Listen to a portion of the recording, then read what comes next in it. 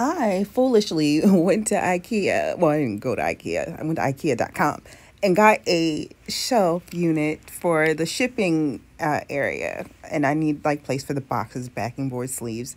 It when I tell you this situation frustrated the living soul out of me. I, I mm, and like the video I was watching with the directions was like a weird art installation type video. Like it was so uninformative and it was skipping like massive steps. I was just annoyed.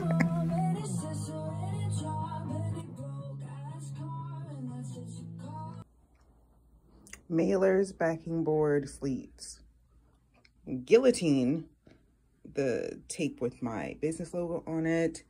This is UPS uh, protective sleeves that I put for the addresses. Envelopes with my business stuff on it. Thank you notes, certifications, and I put this into this. And then I got, uh, this is my expense sheet, receipts and stuff like that corner protectors, a new stamp. Ooh, I got this off of Etsy. An ink pad, a free ink pad came with it, but I need a bigger size. And this is like documents and personal stuff where I keep like W-9s and whatnot. Up here is huh, the print of uh, Ali's. Didn't want to fit in the drawer over here. And this already needs to be cleaned up. Good God. It didn't want to fit in the drawer. So with the backing board and whatnot in it. So that's that. This is a test print. So this isn't really, that's a test print. Luna, I can do this without you. You're helping? You're not helping. I got the Maker's Yearbook uh, for a planner this year, and if you're any type of person who makes something for your business, this is this is the planner for you. And there's a spot in here for like your business plan, like which art fairs you want to go to, handmade markets, customer growth strategies, money, marketing, supplies. It's inventory. There's a lot of stuff in here, and it's a lot of track your progress. And it's not just like like like what are you doing in sales but like it's it's all very crafty I bought the PDF version of the planner and just printed it out because I had waited too long and they was all sold out, the physical copies. One of my curators had DM'd me and was like, hey, you want to be in the February show? And I was like, sure, I'd love to be in the February art show at Mill Hill. He was talking about, oh my gosh. Then he was just like, oh yeah, the theme is love is love. I don't have anything love related um, in my back pocket. And all I could think was, let's go ahead and paint a couple. It'll be fine, April. Except I forget that sometimes uh, I don't really draw a lot of men. But, you know, I mean, I can, I can. I just don't draw a lot of men. There's actually a section in that planner that says, like, you know, you should plan out your marketing for the year, like, you know, like a broad scope of it. And I had put down in January to do something for Valentine's Day, too. And I was just like, I wasn't thinking something like too lovey lovey, but something I could create for Valentine's Day and promote for Valentine's Day to the shop. And I'm telling you, my black tail didn't think about it until after this painting. And um, now I'm looking like, what, what am I supposed to do? And so I put a poll on Instagram and was just like, I would like to do a Valentine's Day painting, but I need it done by February 1st. And I said that on January 22nd. And I was like, do you believe in me? And the poll, the poll, I mean, the poll believed in me, but it was a couple of people that was like, nah, fam.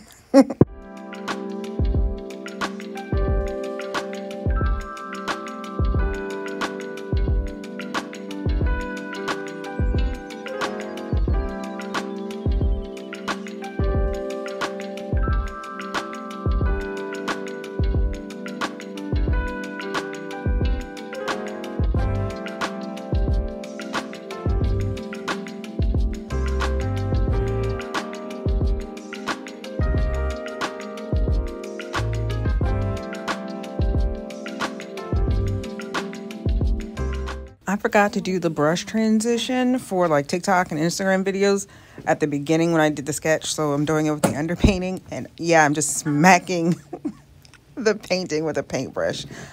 Lord, hold up, because I'm trying to be a better YouTuber. I'm going to show you an example of the brush transition. I throw it and I catch it on the other side. Here we go. Ah, and it's done. And the whole, yes, it's done. Okay, follow me on my socials. You know, color is so strange and, and it's like so unique.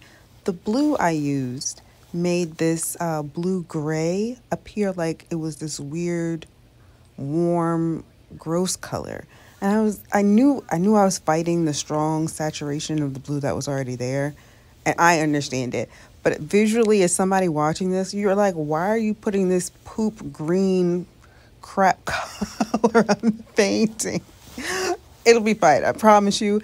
Once the, the underpainting is covered, it the color of the actual paint will be able to actually shine. But you, it's like your eyes do a weird trick on you to, to not read this as like, like a gray blue, but that's what it is.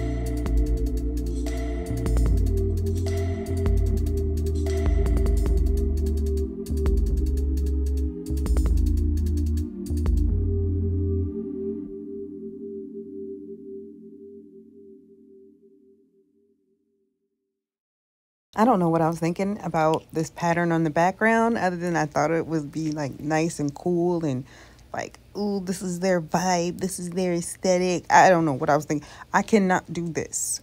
Okay, I need way more practice with this. I should have practiced on something. Good God, I messed that all up. But I am trying to figure out if I want to do a print or not. Uh, I just, I don't know. I just, I just was like, this was a roller coaster but I, I mean, I liked how it turned out, like I usually do. If I don't like something, I won't show it. But anyway, you know, check out my friends at artbyaprilcooper.com and all that goodness. Thanks for supporting your girl. You made it to the end of the video. I'll see y'all next week.